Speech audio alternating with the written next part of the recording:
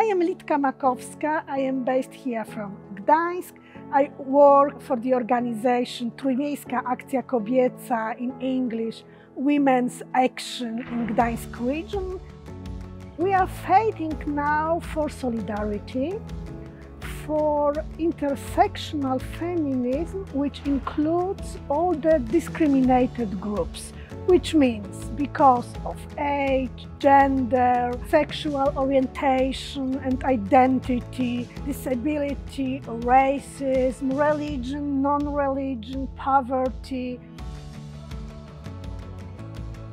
Two years ago, we had in Poland the all Polish women's strike. It was a huge solidarity from abroad to us, Polish women, and it was very, very hopeful. It was a huge empowerment to me here locally based in Gdańsk. And I know this and I try to give it to the other now fighting women and feminist movements, but also different civic movements.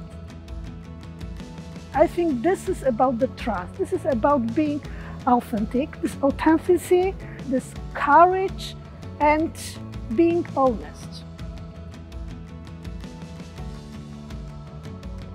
I can say with my 20 years of experience in civic movement and in feminism here in Gdańsk, but also in Poland, that we were working in sections, in fields like feminism, ecological movement, democracy movement, civic education movement, and now it's time to work together and now it's time to learn how to learn about trust.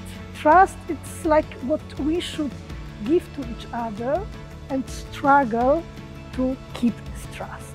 Because it's not easy to trust to different movements.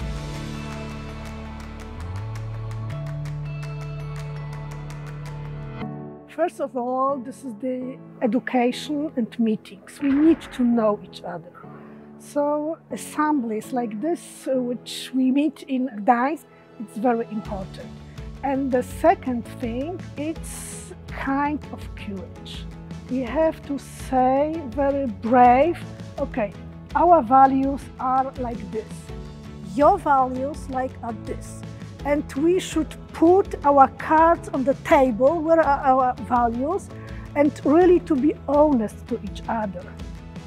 I was struggling for any, for example, ecological things and action here in Gdańsk, I had to cover my feminism.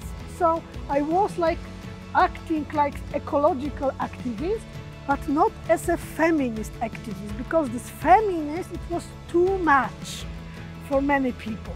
So now it's time to build our trust on this that we are honest to each other. I am an ecological activist, but also I am a feminist activist. And this both, it could work together.